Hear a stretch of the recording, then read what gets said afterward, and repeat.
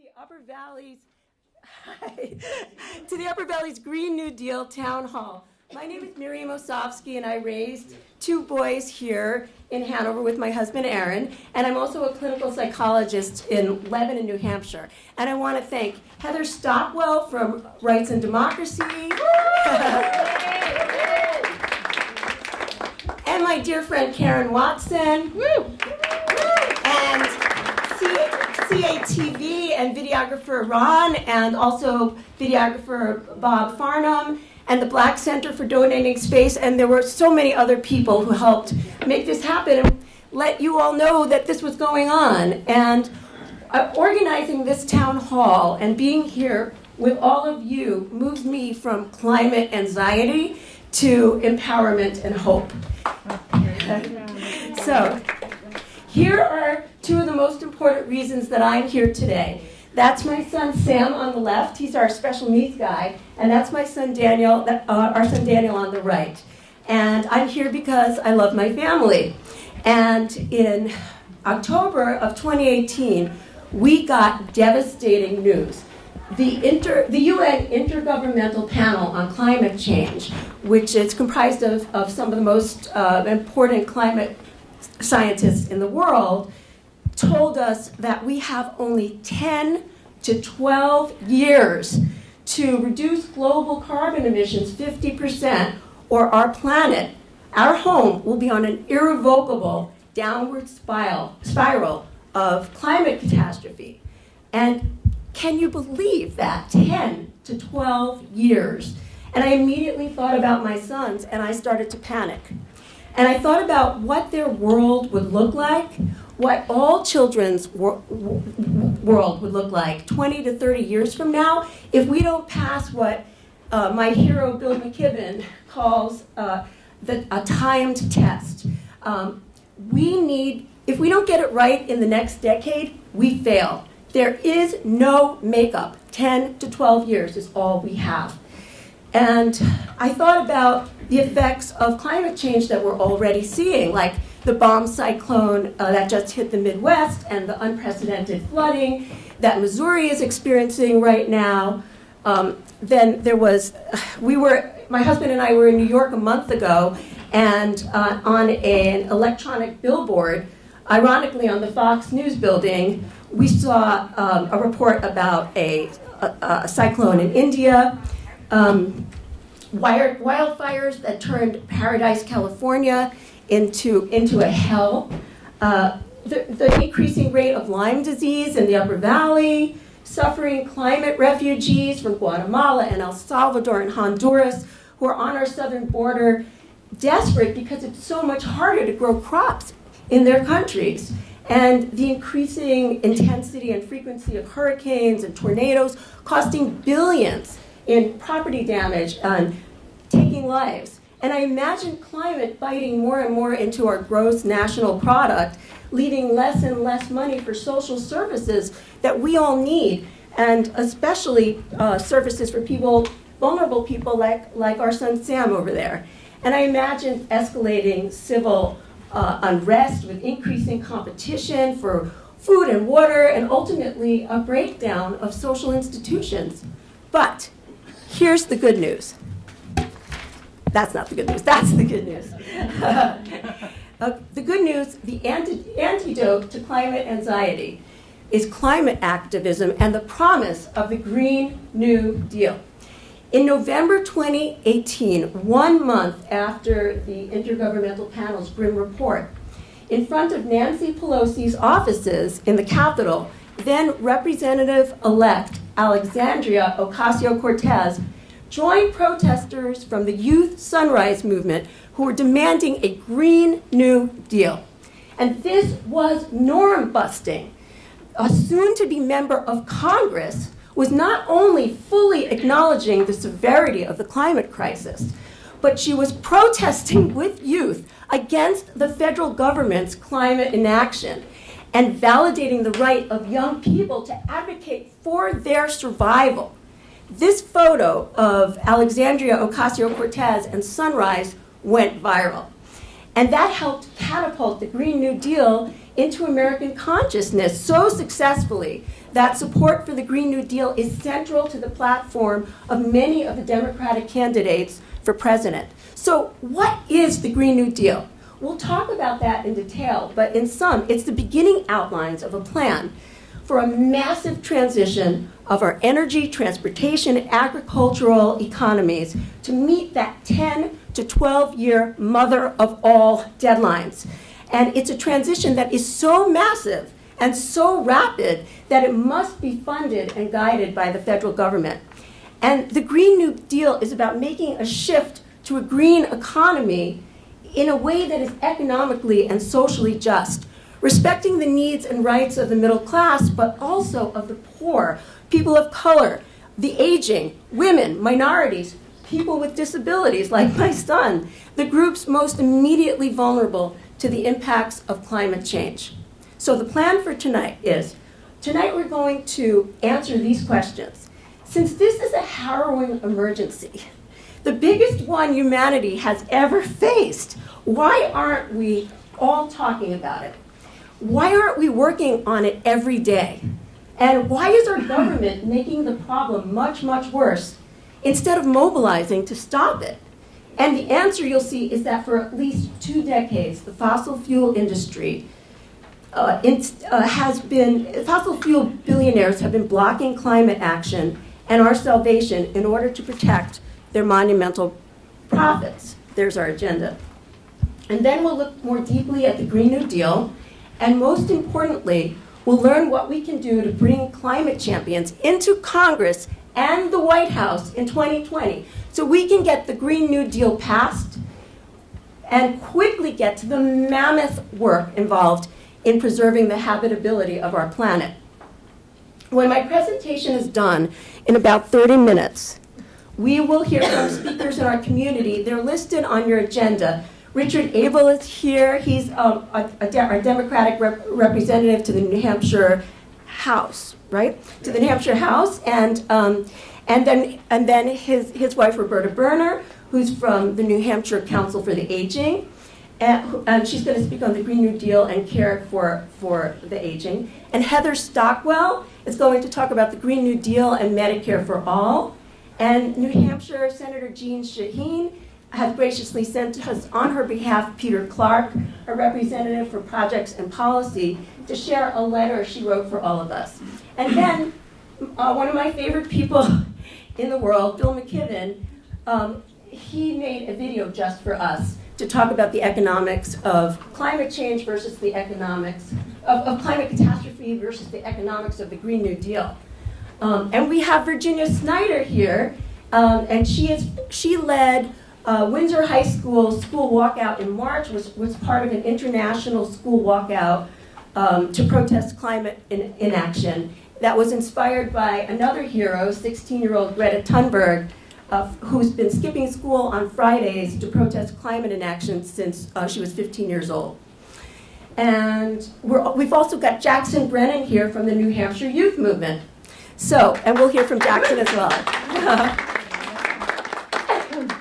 and we'll stop at the presentation for a really brief question and answer, but then we'll jump into the panel and have a long question and answer after we hear from all the members of the panel. So,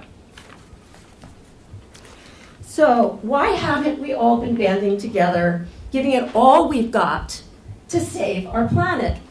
Well, the fossil fuel industry has been brainwashing all of us here in the United States since 1997, using their billions to fund climate denialism and by politicians so that our government, to a large extent, now represents their interests and their profits instead of our common good.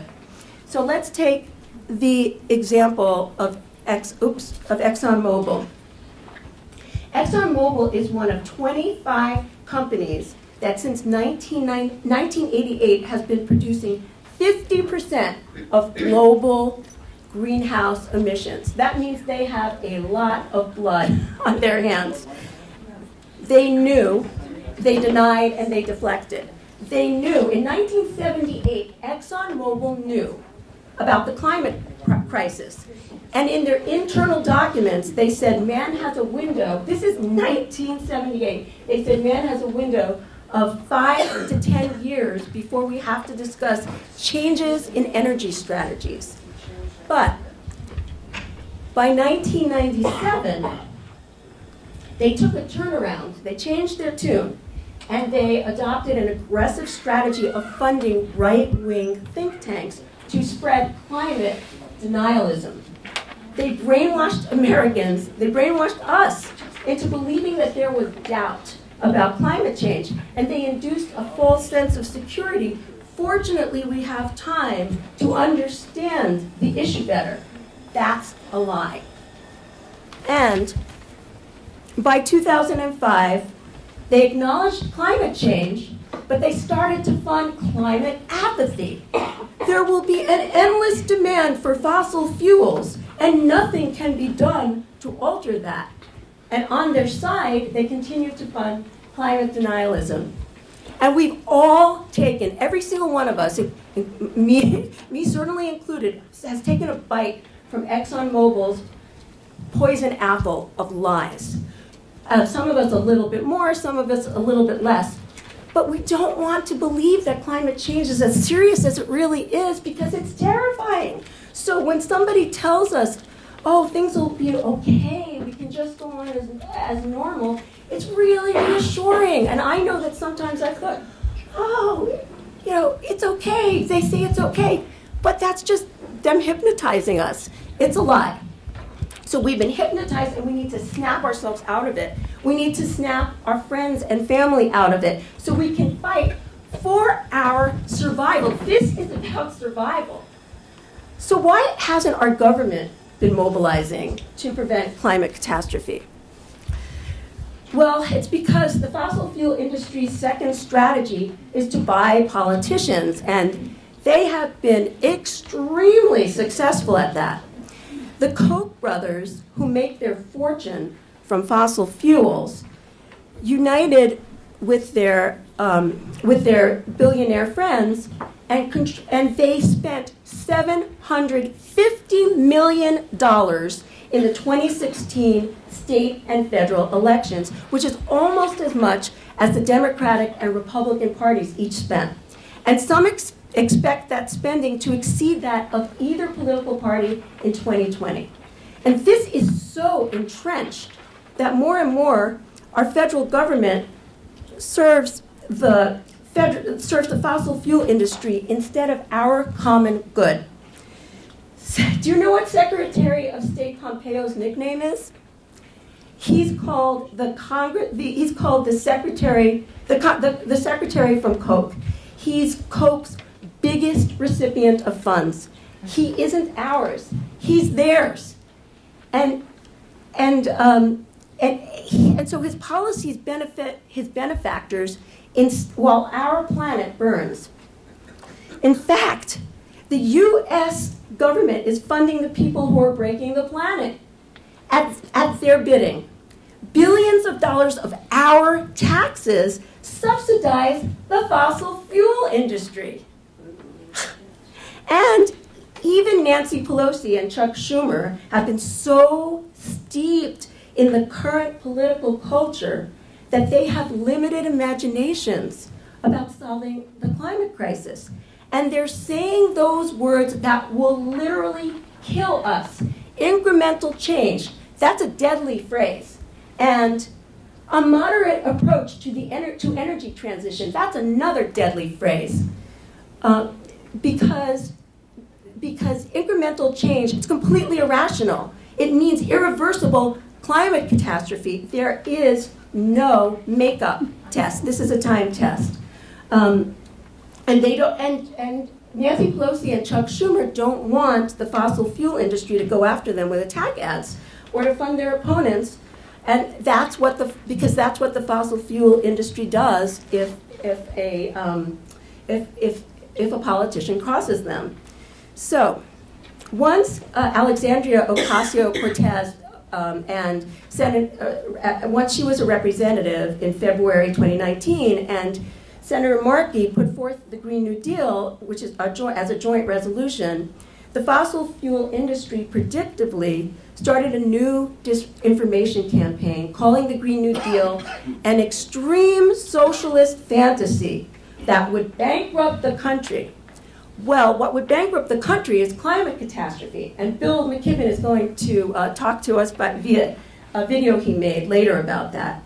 And there'd be way more money for a transition to a a green economy if three billionaires, the three richest people in our country, didn't have the same amount of assets as the bottom half of Americans combined.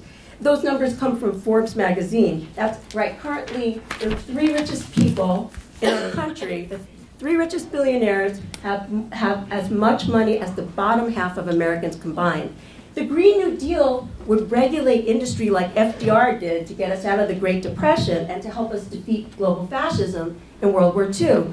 Modern politicians who've been bought by the fossil fuel industry have deregulated business and created an unfair tax structure. The Green New Deal would, would restore economic justice, making more assets available to serve the common good. So now let's talk more specifically about the Green New Deal. It's the only solution to the climate crisis ever put out by members of our government that actually meets the scale of the crisis. It's the only solution ever proposed that could avert climate catastrophe. I'm going to show you a video of what our country could look like if we all work together and to make the Green New Deal into law Uh, Alexandria Ocasio-Cortez co-wrote and narrates this video. And as you watch it, I want you to note the following. There's massive federal involvement, top-down involvement, because the scale of the solution has to match the scale of the crisis, which is huge. the Green New Deal will transition our energy, transportation, and agricultural systems in a way that is socially and economically just.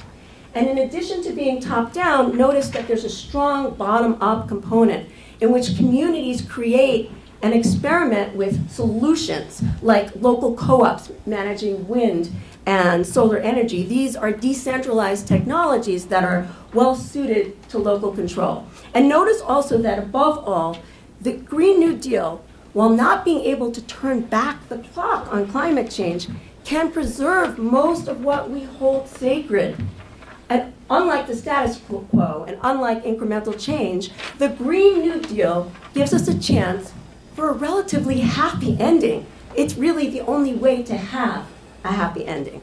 So,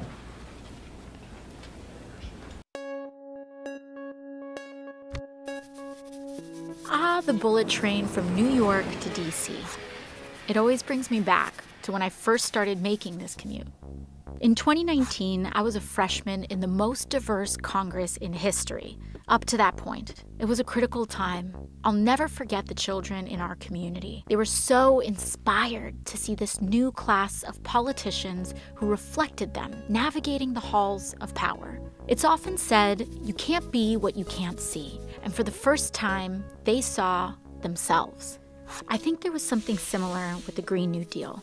We knew that we needed to save the planet and that we had all the technology to do it. But people were scared. They said it was too big, too fast, not practical. I think that's because they just couldn't picture it yet. Anyways, I'm getting ahead of myself. Let's start with how we got here. 1977, New York. A senior scientist named James Black made a presentation about how burning fossil fuels could eventually lead to global temperatures rising 4 or 5 degrees Fahrenheit. Within two years, one of the world's biggest supertankers was outfitted with a state of the art lab to measure CO2 in the ocean, gathering more data about global warming. Guess who was doing all of this research? Exxon Mobil, the oil and gas company. Oh, yeah, Exxon knew this whole time, as did our politicians. Ten years later, James Hansen, NASA's top climate scientist, told Congress he was 99% certain that global warming was happening and caused by humans. That was 1988, the year before I was even born. So, did Exxon listen to the science, including their own? Did they change business models, invest in renewables? No, the opposite. They knew and they doubled down. They and others spent millions setting up a network of lobby groups and think tanks to create doubt and denial about climate change. It was an effort designed to attack and dispute the very kind of science they themselves had been doing. And it worked. Politicians went to bat for fossil fuels, and these massive corporations kept digging and mining, drilling and fracking like there was no tomorrow. America became the biggest producer and consumer of oil in the world. Fossil fuel companies made hundreds of billions, while the public paid the lion's share to clean up their disasters. We lost a generation of time we'll never get back. Entire species will never get back. Natural wonders gone forever. And in 2017, Hurricane Maria destroyed the place where my family was from, Puerto Rico. It was like a climate bomb. It took as many American lives as 9 11.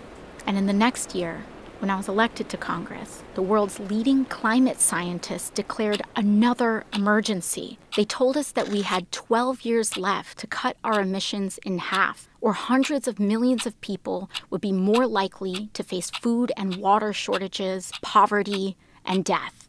12 years to change everything how we got around, how we fed ourselves, how we made our stuff, how we lived and worked, everything. The only way to do it was to transform our economy, which we already knew was broken, since the vast majority of wealth was going to just a small handful of people, and most folks were falling further and further behind. It was a true turning point. Lots of people gave up. They said we were doomed. But some of us remembered that as a nation, we'd been in peril before the Great Depression, World War II. We knew from our history how to pull together to overcome impossible odds. And at the very least, we owed it to our children to try.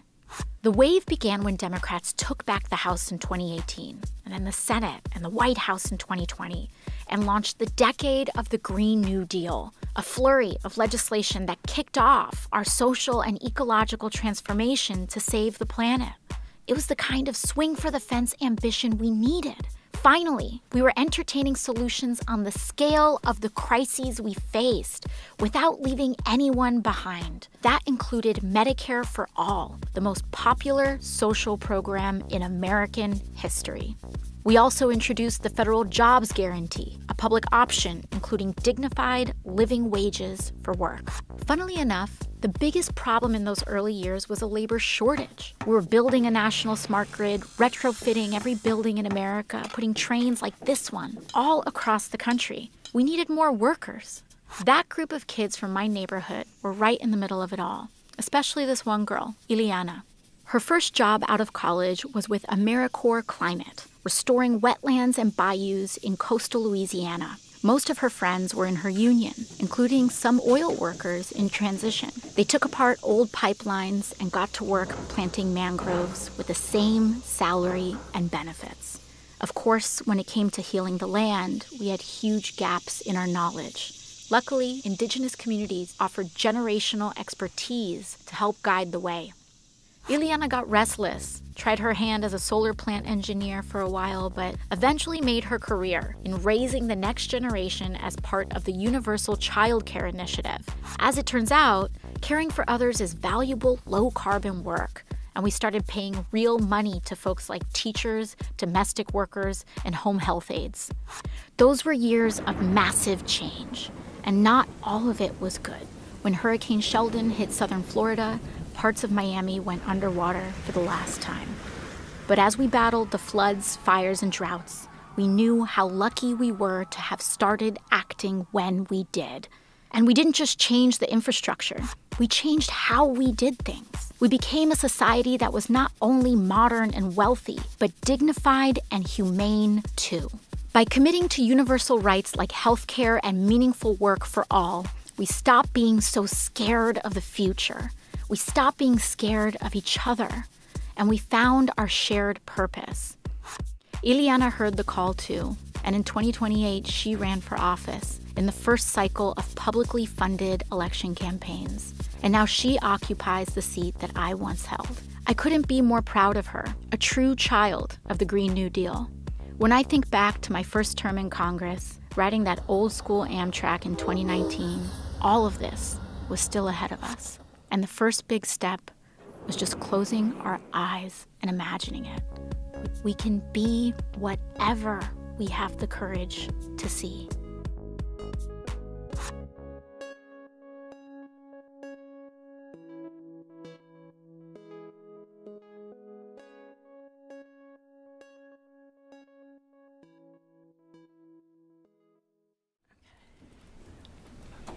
Okay.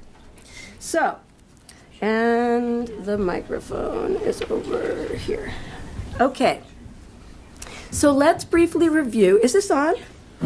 Yeah, we can turn the volume up. Yeah. Okay. There we go. Let's briefly review the three core components of the Green New Deal. There's a job guarantee.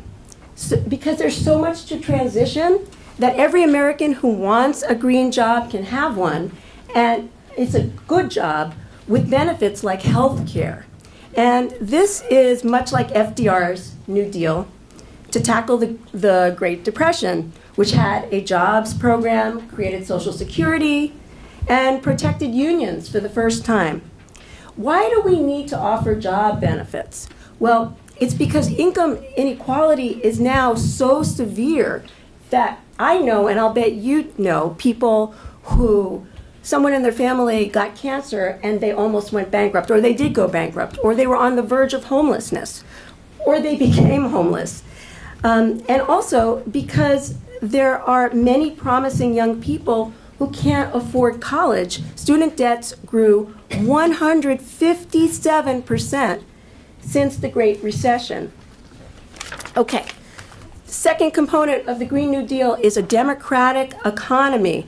A Green New Deal must be developed through transparent and inclusive consultation, collaboration, and partnership with frontline and vulnerable communities, labor unions, worker cooperatives, civil society groups, academia, and businesses. Um, so this is this is uh, about the bottom-up component to the Green New Deal because solar and wind are decentralized technologies suitable for local control and there's a precedent for that in FDR's Rural Electrification Administration, which, over the protest of private utilities, um, created rural co ops that to this day supply power to half of the land area in the United States. And the third principle of the Green New Deal is a good life for all, which is an extension of FDR's second Bill of Rights, which said that every American has the right to a job, an adequate wage and decent living, a decent home, medical care, economic protection during sickness, accident, old age, or unemployment, and a good education. So we've tackled seemingly insurmountable odds before, uh, solving the Great Depression with the New Deal, defeating global fascism in World War II, it required that we all pulled together. And when we did, we made the impossible happen.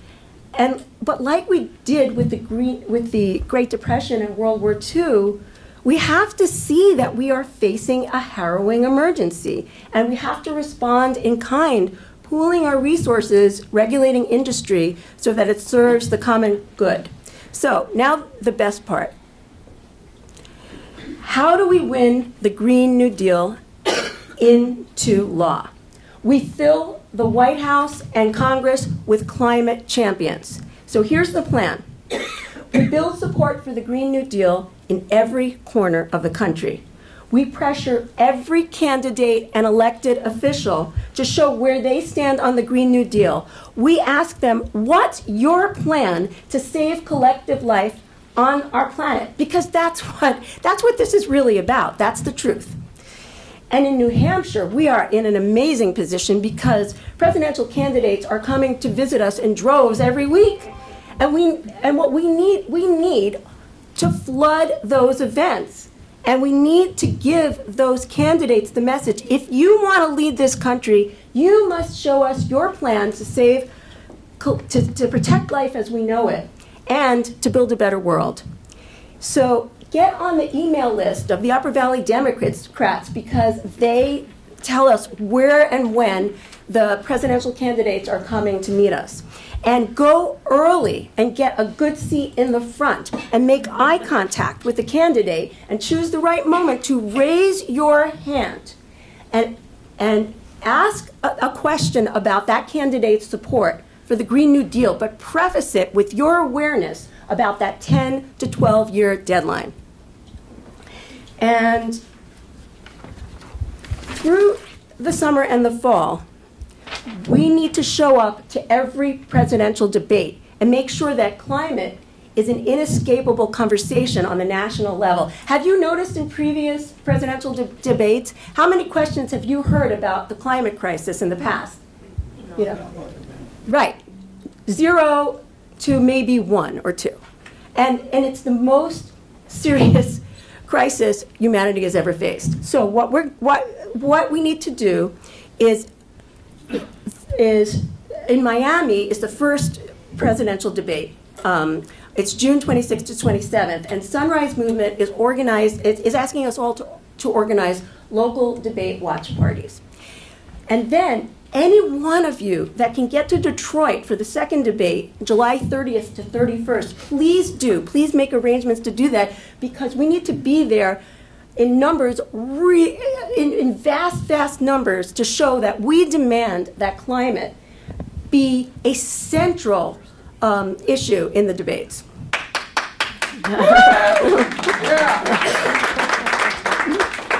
Um, we've got a Sunrise Hub starting in, um, in Dartmouth. You can su support them or join one, or, or, support them or start one your, yourself. We've got, um, you can work with 350.org on a national level and also, and, and on local level, Rights and Democracy. Um, Rights and Democracy is uh, 350.org. 350 New Hampshire is working to help stop the Granite Bridge pipeline in New Hampshire, which would put tons of carbon into uh, more into our atmosphere for decades. And what, like, where did, where are we now with, with parts per million of carbon in uh, in the atmosphere? 415, unprecedented, unprecedented, very dangerous. Talk to your friends and family and community and religious organizations about the Green New Deal and ask them to formalize their support at sunrisemovement.org slash GND. And tell your friends and family why incremental change and moderation about climate would literally be the end of the world for us. Um, and then in 2020, we campaign with everything we've got for candidates who support the Green New Deal. Because this is our last and best chance to save humanity from a future of chaos, pain, and scarcity. So talk to your family or friends, ask them to support the Green New Deal, explain the emergency, undo the fossil fuel industry's brainwashing, and when our loved ones are scared, tell them how much better they'll feel if they take action. So now we're on to our panel of speakers. Uh -huh. Uh -huh. All right, so first up is Richard Abel. who is um, a Democratic representative to the New Hampshire State House. And I'm going to get this stuff out of your way. So, um, okay, so there you go. And I'll get this stuff out of your way. Okay. So I've got the microphone. Uh, it's good to see everybody here.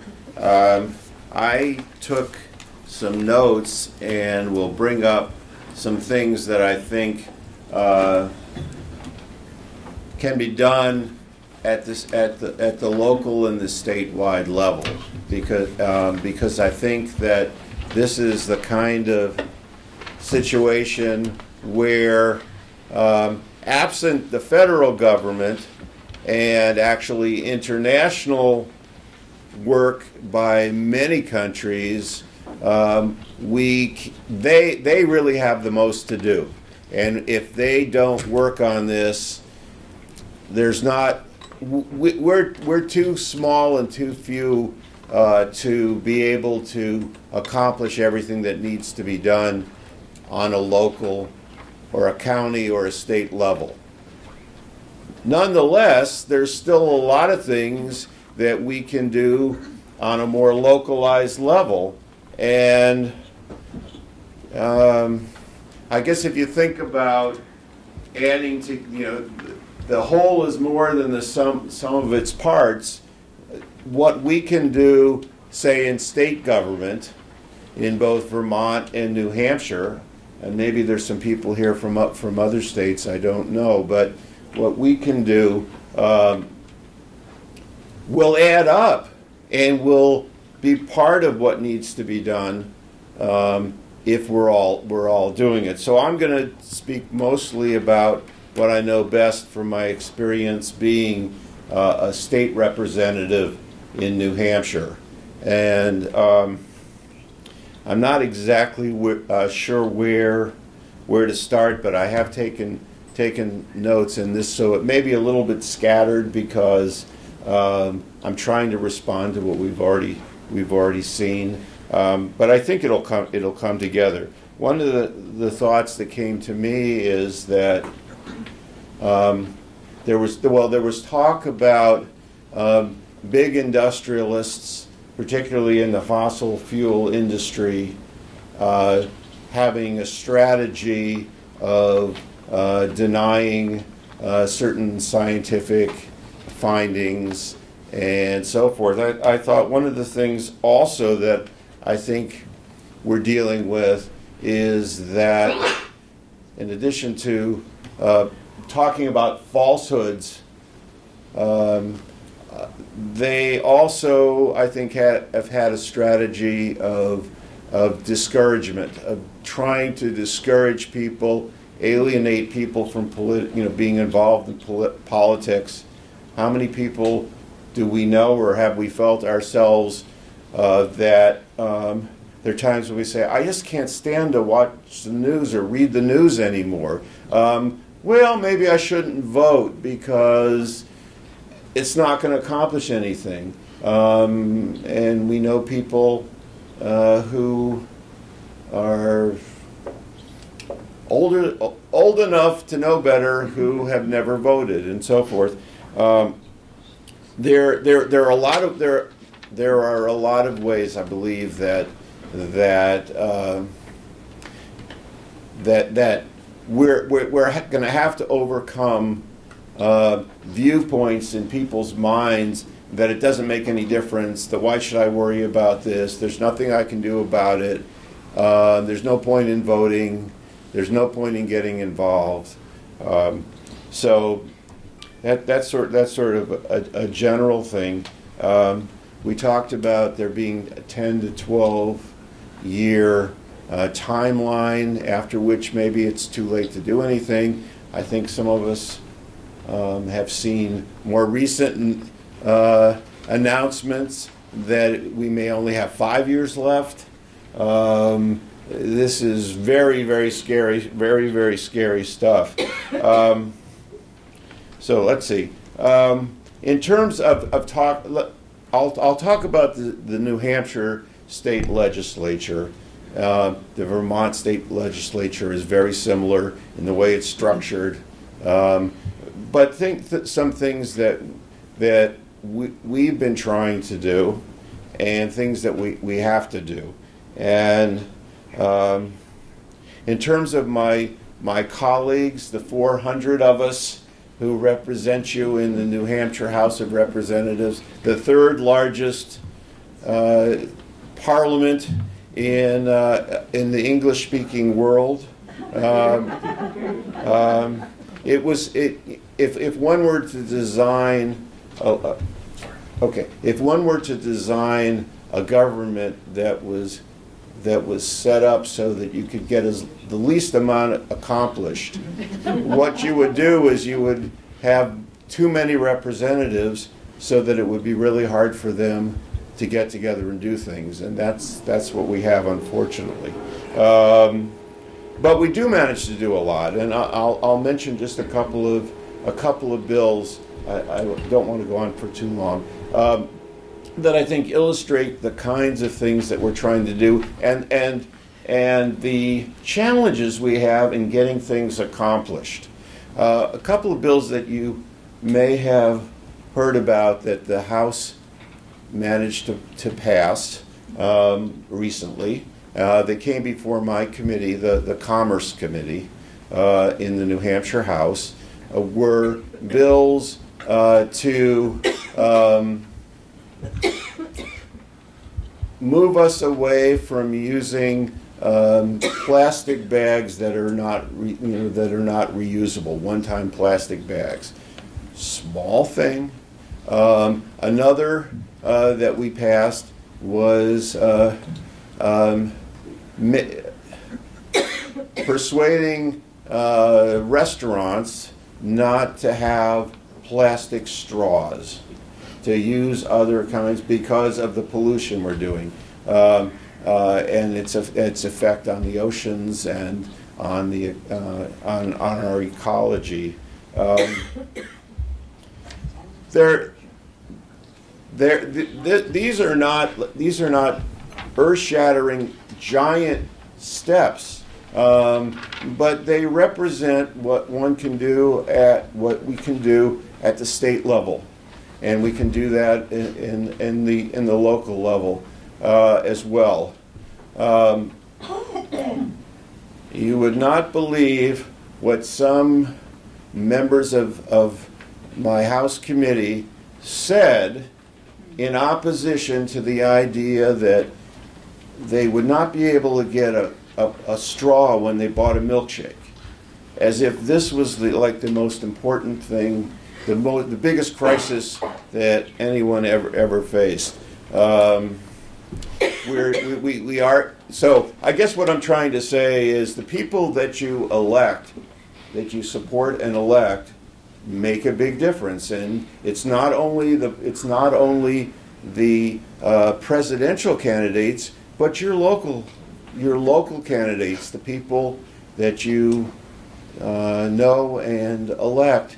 Um, and, you know, really press them on uh, on how on how they feel about things and what they'll vote for. So we've we've we've uh, in in the New Hampshire House we've dealt with uh, with with uh, pollution, um, dealt with uh, uh, the RGGI program, if you're familiar with that, which has tax credits for um, for reducing pollutant uh, gas you know, uh, emissions and so forth.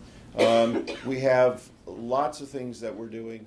Hi everybody, um, I'm Virginia Snyder. Um, like Miriam said, um, I'm a junior at Windsor High School, um, and back in March, um, I was one of the organizers for uh, March or not March for Our Lives, Windsor Climate March.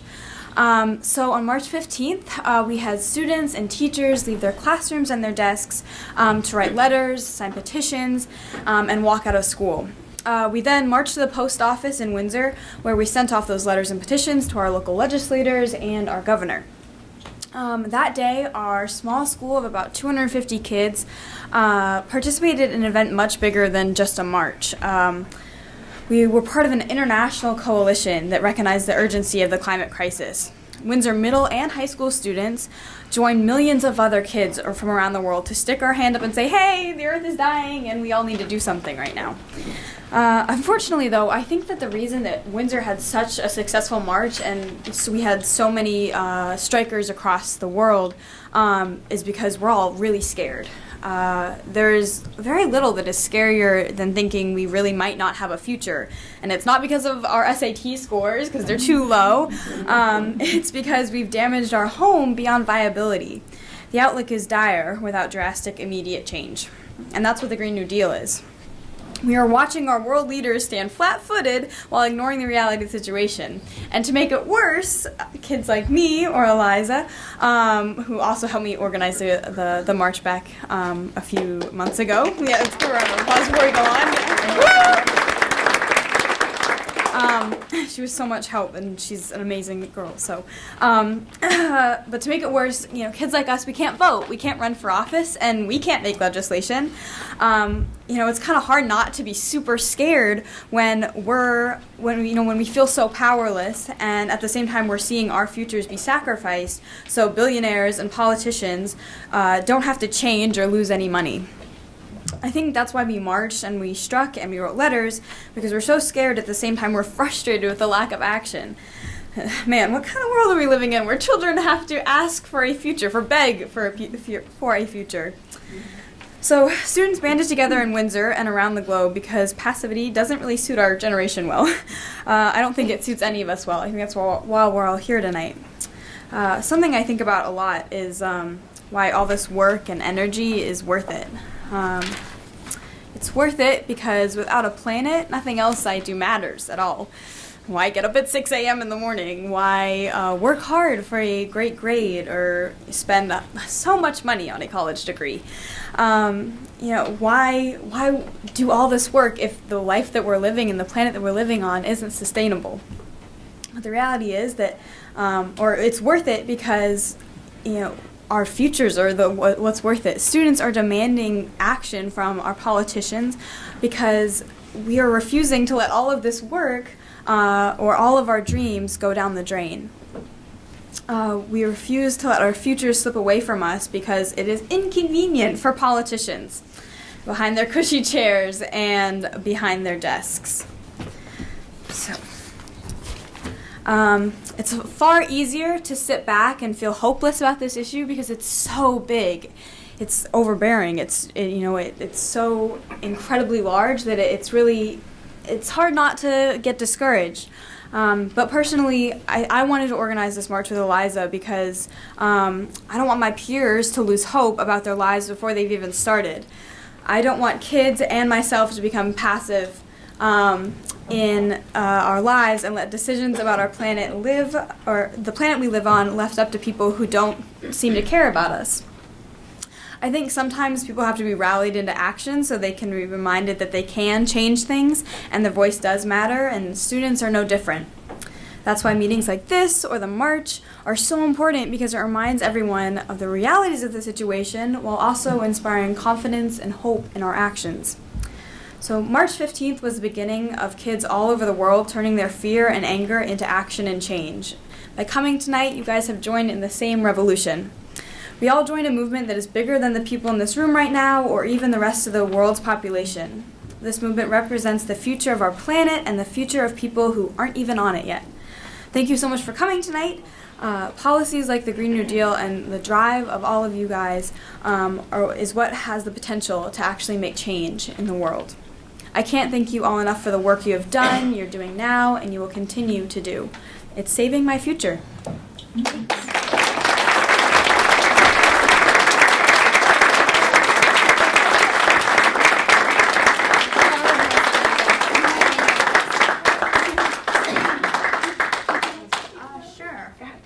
Uh, hi, I'm Eliza.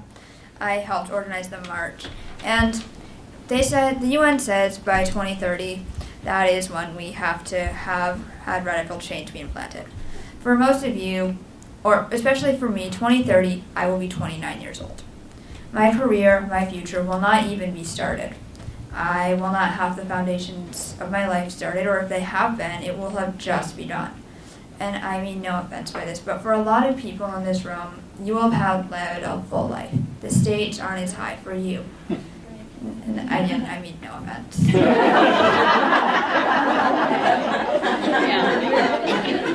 we take no we offense.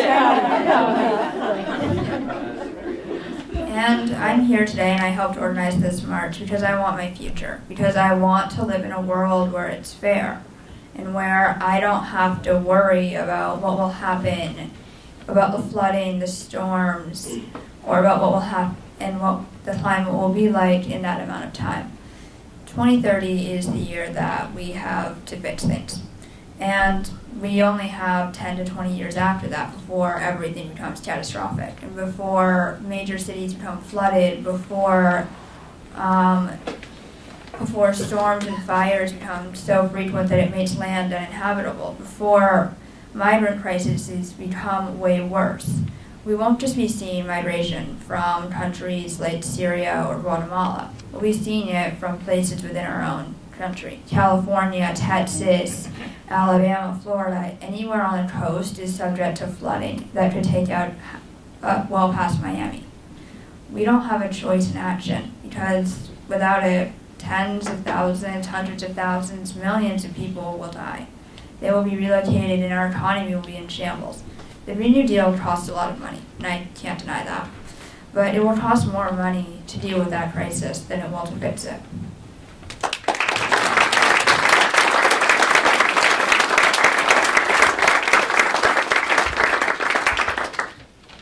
Thank you so much, Virginia and Eliza. Your work is so important. And okay, now let's go back to uh, um, the older people. let, let, let, us have Roberta Berner um, from the New Hampshire Council on the, uh, the Aging. You mean the 35 plus? Uh, the, 30, the 35 plus.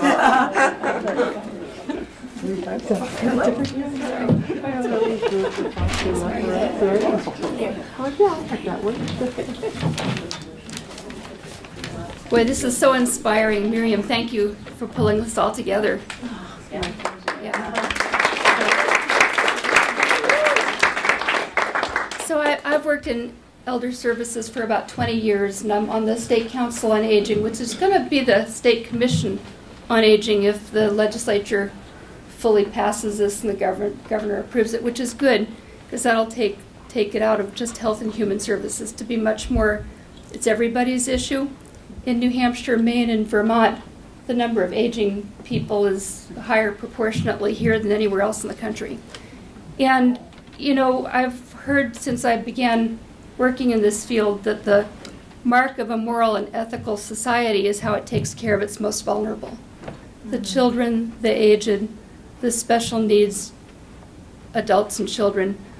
And, you know, how are we doing at that? Um, we've watched um, Katrina, we've watched the elders in New Orleans um, die, come out of their houses held, um, held by first responders, um, thousands of people, of Puerto Rico. Uh, it's it's the aging and the most and the most vulnerable people among us who have the most to lose, who lose their lives, who lose their health, who lose their homes, um, in these catastrophes that we're seeing grow in size, grow in impact, grow in severity. So um, the Chicago heat wave of a few years ago, uh, thousands of people who were elderly and poor were affected because it's the poor also who were affected far more than the middle class and the wealthy. Um, incremental change, I, I, was thinking about some of the public health efforts that we've been involved in. Um, Dartmouth Hitchcock uh, spearheaded a public health initiative a few years ago called the WARM effort, where Meals on Wheels volunteers were supposed to check on the well being of the people they were serving. Are they wrapped up in blankets when you go to serve them their meal? Are they complaining about being cold? Is their house indeed cold? Do they have enough money for their fuel? And what were we supposed to do about that? Well, try to get them help, but incremental. And then with um, with the heat, it, the heat episodes that we have, even here in northern New England, what do we what do we tell older people? Drink more water, keep your shades drawn, go to cooling centers, um, check on your neighbor. Uh, and having run some of those cooling centers and see the fire departments bring um, cases of bottled water, I'm thinking, oh boy, this isn't gonna, this isn't a long-term solution. So incremental, I don't know. Um, so it's inspiring to hear the two of you speak. We, you know, we're most of us in this room are indeed over 35. but we have relatives, we have sons. I have a son and daughter. I have a daughter who's afraid of having children. So it affects all of us, even those of us over 35. so, um, and income inequality is, is something that I see all the time. Um, we, we've read all the reports about how people 50 and above don't have retirement savings are not prepared for retirement, are working as long as they possibly can. Um, there's not enough of a workforce here to take care of the people who, who need in-home care. Income inequality is real, and the average in-home care person is working for 10 to 12 dollars an hour, um, and it's it's kind of a kind of criminal. So, um, yeah, I think the time has passed for incremental change. Straws and plastic bags, um, you know, it's good, but, but I, I like the idea of a holistic approach to, to this and not just passing out bottles of water. Thank you so much.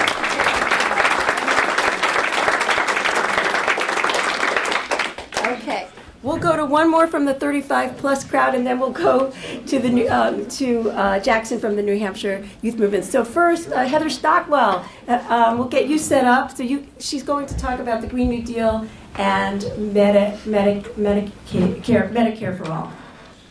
And Heather Stockwell is an organiz- organizer for Rights and Democracy, which uh, works in New Hampshire and Vermont for progressive causes. Thank you.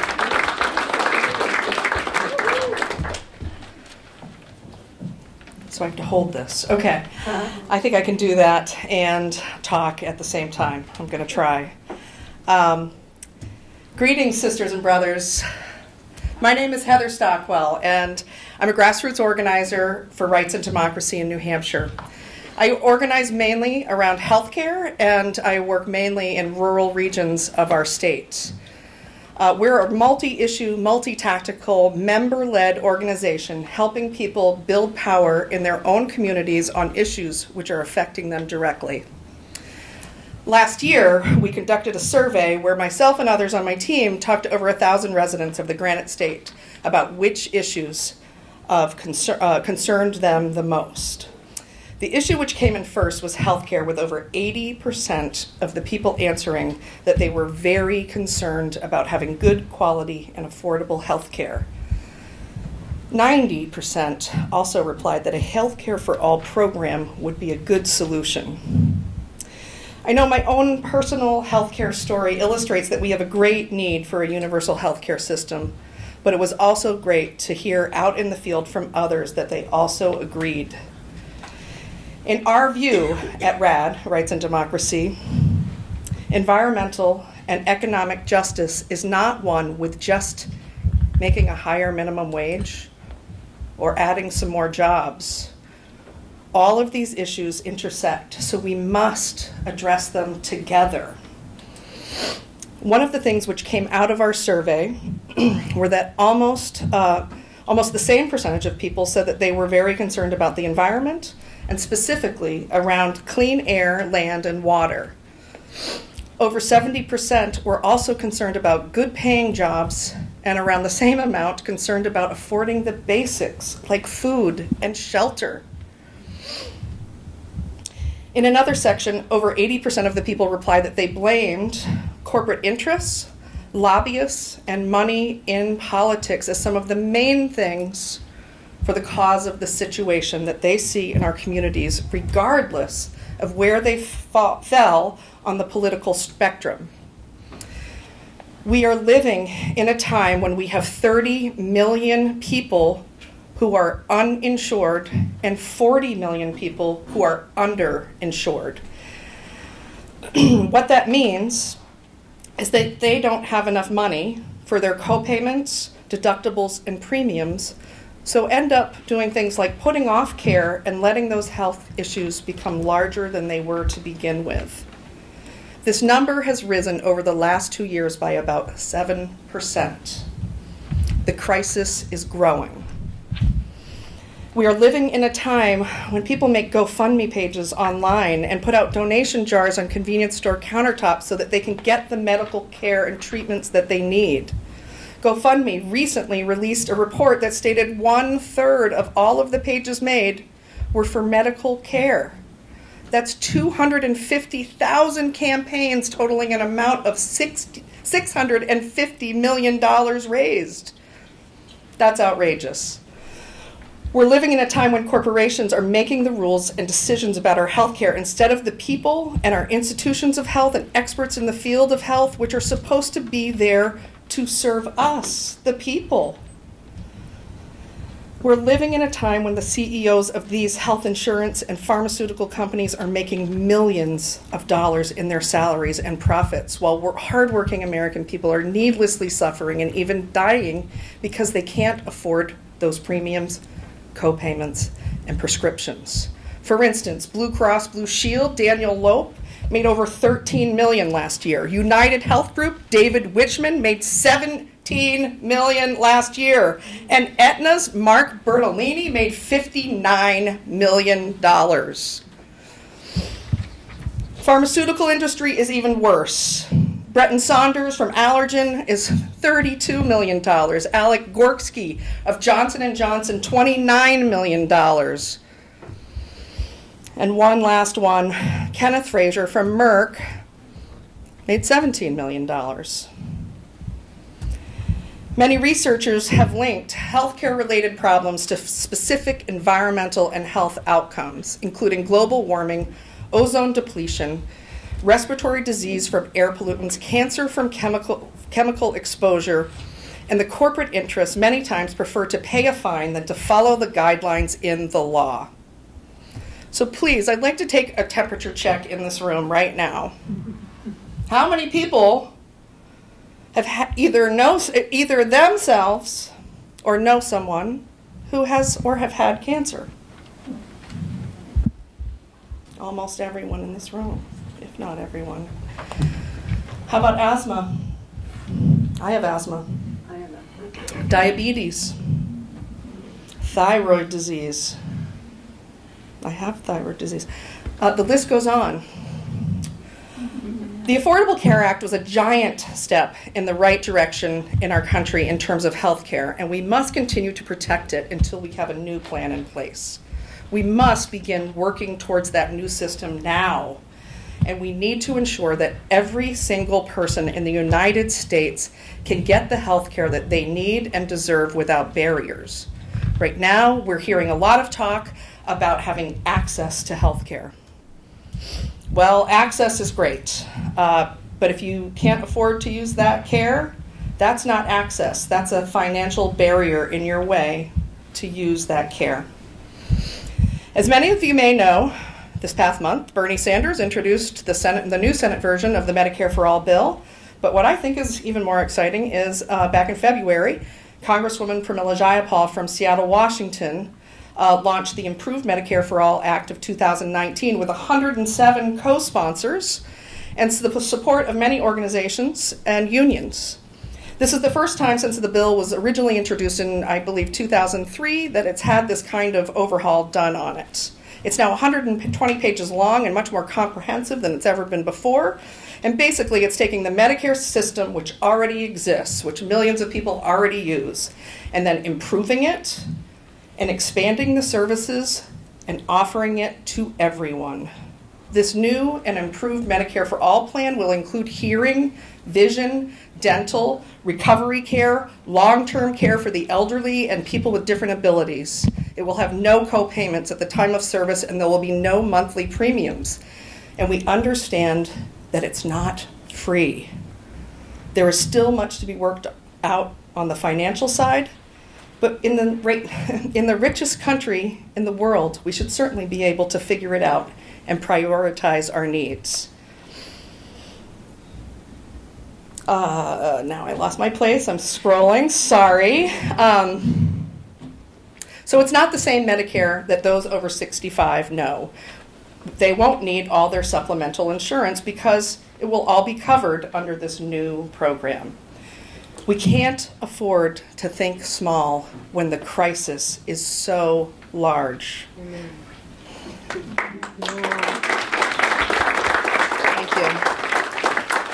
That's why this is all a big part of our work at Rights and Democracy. And we're working with our members and our chapters all over the state who are hosting barnstorms and canvasses and meeting with our elected officials to push them to support it too. We believe that in order to fight big corporate power and money, that we need to build a grassroots, people-powered movement similar to the Sunrise Movement.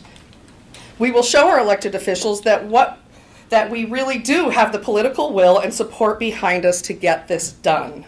So far, about 7 out of 24 presidential candidates also support these bills, and we intend to bird dog them, as Miriam uh, said earlier. Uh, and find out exactly where they stand on this important issues and others that we care about in the upcoming election. We'll also use it on our elected officials in New Hampshire. So we hope you'll enjoy join us on this campaign and come by our table, say hello, sign the petition, and get some more information and get involved. I want to tell you about an event. Uh, speaking of bird dogging, uh, we were re- recently on NHPR uh, featured uh, with our workshop, our bird dogging workshop, which is being offered in Claremont next week, uh, Wednesday night, the 29th. Woo! Uh, that's at the at 6 to 8 p.m. at the Center for Recovery Resources, right on the right on the circle. I'd also like to invite everyone to our Medicare for All forum on July 13th at the Manchester Institute of Politics. I have some information on that on the table. We have some great panelists, so thank you so much coming.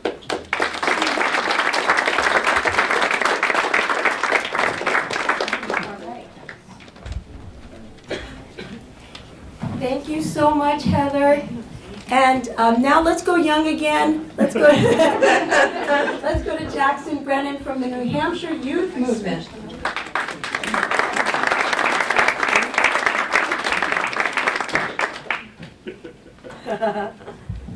Hello, everyone. Hello. Hey.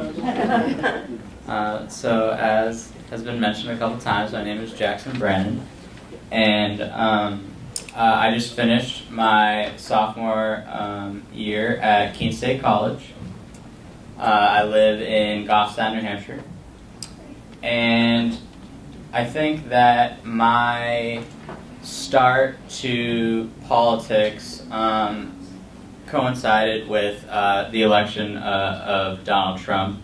Uh, in 2016, I was a junior in high school, and um, I didn't really have an outlet um, to get involved in activism, and that changed when um, I got to Keene State College, and um, you know at the time I wasn't really you know actively seeking out um, you know activism, but you know I, I, I clearly you know felt that you know there needed to be change, and um, back then, uh, well I guess it's just like two years ago, uh, my focus was I was going to be a teacher, and um, I was going to continue um, being a runner at uh, Keene State College, and um, I, I sort of lucked into um, activism. Uh, my teammate um, on the cross country team, uh, Tris Patchwan, um, decided to start uh, a, a, hub of New Hampshire youth movement at, at Keene, and uh, he, he knew I was into that sort of thing, so he, he asked me to join, and I did. And, you know, I, I didn't really know what to expect. I just wanted to get involved. Um, but the, the more I got involved and the more I heard um, from you know the International Climate Report and um, a lot of the the uh, you know natural disasters that have happened, um, I realized that you know this was uh, an issue that needed to be you know fought on you know head on, and um, you know with the New Hampshire Youth Movement. It, it just felt like the community, um, you know, I felt like I belonged to be there and that I was welcomed and that we had a, you know, a shared vision for the future.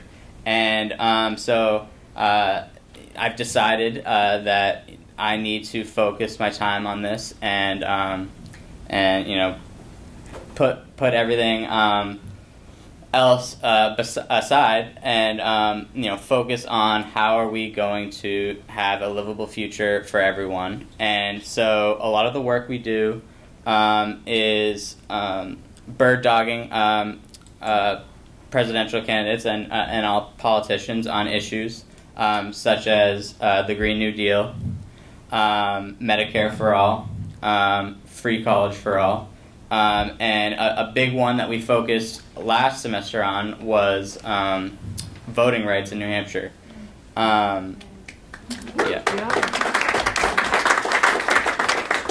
And um, so there was a bill that was signed um, signed into law uh, by Governor Sununu um, called HB 1264, and it basically requires out-of-state students to.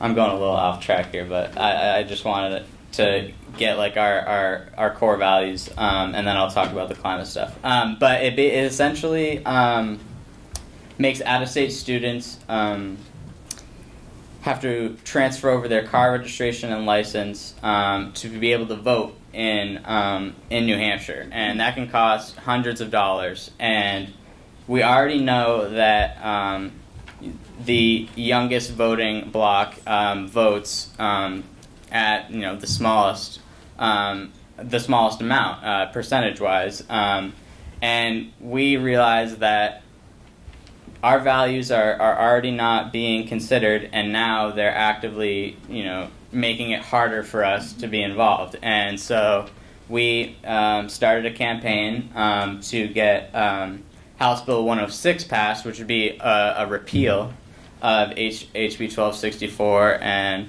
you know we were um, canvassing um, and, and, tabling on campus um, to get signatures in support and petitions uh, in support. Um, we got um, about a dozen um, presidential candidates to um, speak in support of HB 106. Um, so that was that was really big for us. And you know, all this work led up to um, a at the state house uh, last month. we had a sit-in. Uh, we brought you know over 100 young people um, to demand that um, this bill um, be passed um, and uh, to make Governor Sununu um, keep his promise because in the past he had said he would never sign a bill that would suppress the student vote, um, and then he did. So we we got you know mobilized for that event, and uh, ten of us uh, risked arrest. Um, myself included.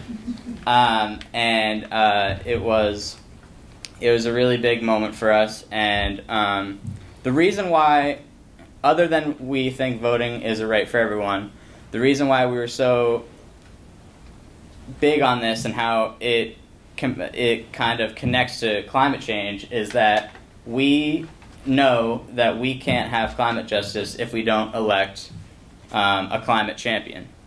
And we also know that young people, um, the ones that are affected by this the most, um, are the most passionate about this and will elect a climate champion. And so that is one of our biggest things is we are getting young people um, prepared to vote for and informed to vote for a climate champion. The other part is we need our politicians to champion the things that are gonna, you know, give us a livable future. And um, so we've been um, going to events and getting um, politicians to um, sign the No Fossil Fuel Money Pledge.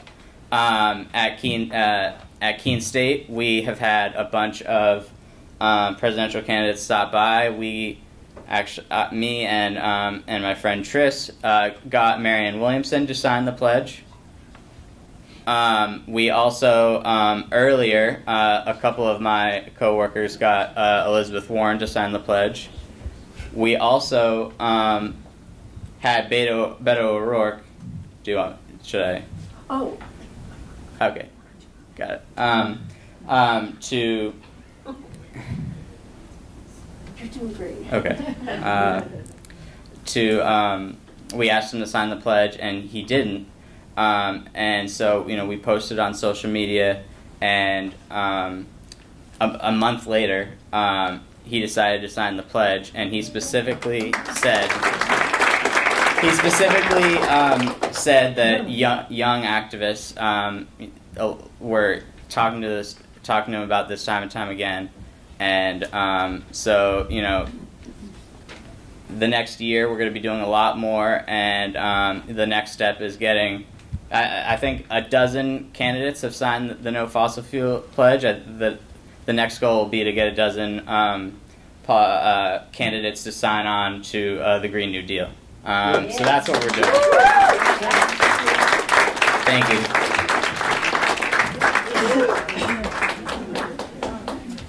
Jackson, thank you so much for your activism, and you're accomplishing so much for all of us.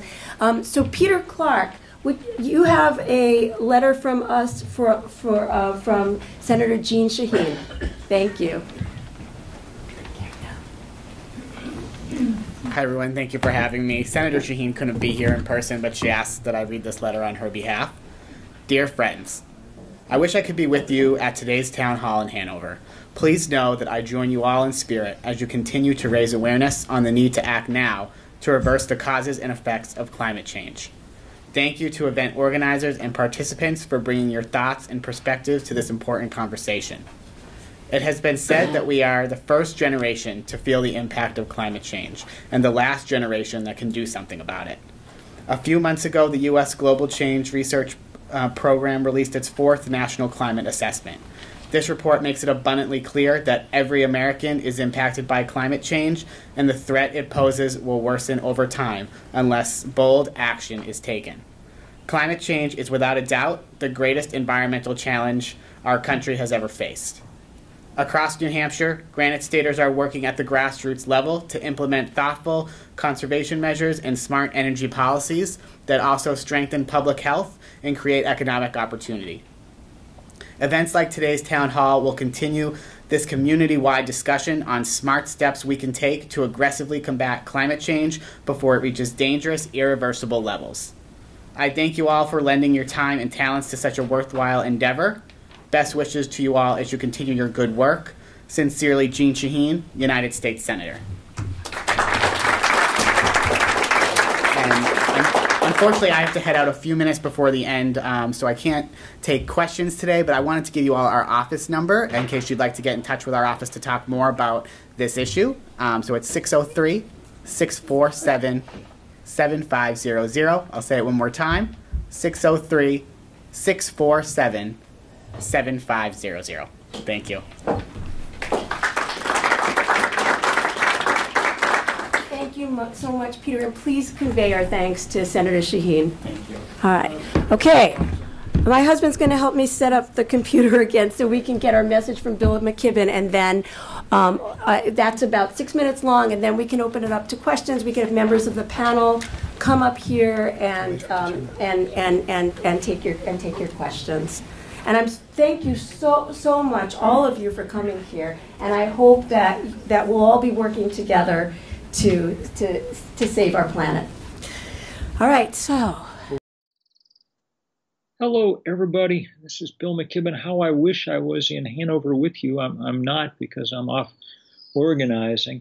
But look, I'm really glad that the Upper Valley is coming together to talk about the Green New Deal because I think it's the most important conversation we could be having in this country right now. I love the young people who've put together the Sunrise Movement and launched the Green New Deal. Most of them are veterans of the campus fossil fuel divestment movement. When they got out of school, they wanted to keep going, and they've kept going with something truly important. This is the first legislation that anyone's talked about that's on the same scale as the problem that we face that doesn't nibble around the edges, but instead goes for the heart of the matter, which is that we need real and dramatic transformation. Um, I know that Miriam has talked or will talk a lot about precisely what is going on um, um, with the Green New Deal. I want to just talk for a few minutes about mm, some of the things that scare people about it all. When people say, it's, oh, it's too much or it's too expensive or whatever. And this is clearly, well, it's clearly nonsense. The first thing to be said is economists are always better at adding than subtracting. And no one bothers to point out the almost unbelievable cost of doing nothing about climate change. I remember when Nicholas Stern, Lord Stern, the great British economist, published the first report maybe a decade ago on the price of unrestricted climate change. He said global warming unabated would cost more than World War One, World War Two, and the Great Depression combined. When he came back to that analysis a few years later, he said that he'd erred dramatically in underestimating just how expensive this all was going to be. Compared to those kind of prices, the price of going ahead with the rapid decarbonization of our uh, energy systems is small. In fact, it's crucial that we do it because if we don't, if we try and keep bouncing along a little while longer on this fossil fuel uh, scheme, we're inflating the biggest economic bubble uh, that we've ever faced. The stranded assets, the fossil fuels that need to stay, stay in the ground if we have any hope of meeting the commitments we made at places like Paris, uh, it's valued currently at about $28 trillion. Uh, that's far more than the uh, uh, amount of money it took to destabilize the financial system uh, uh, in 2008 with the housing crisis. So it's crucial that we start doing this work now and send a strong, clear signal to investors everywhere what direction we're going in. That's what the Green New Deal would do. And when we do it, it's crucial for people to understand precisely how good it's going to be for all the rest of us.